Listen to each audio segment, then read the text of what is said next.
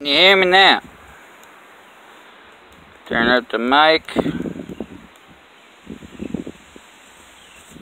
Well, I said I would get a video of my little dotty. There him is. Don't be bashful. You see the little doggy? He's a little king. He my buddy. And he don't let nobody in the house unless I say so. Well, I have to put him up before then. That's why I have to have this sign right there. Beware of the doggy. Oh yeah, my son graduated.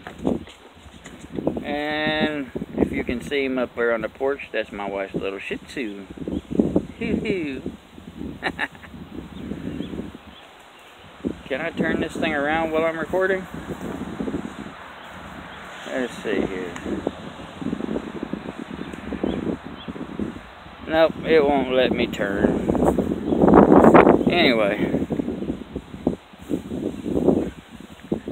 I'll walk out here and show you some of the things that I have been able to grow with no problem. That my wife says is very, very ugly. I think they're kind of pretty myself.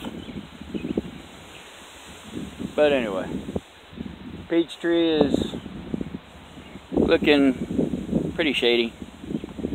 Uh, I did uh, what uh, Micro Farmer said, get some water with the Irish soap in it, and I sprayed around the whole base. And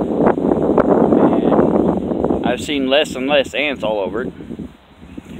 But, uh, oh, I probably want to see the other stuff that I got from Micro Farmer. As you can see, they're looking pretty good.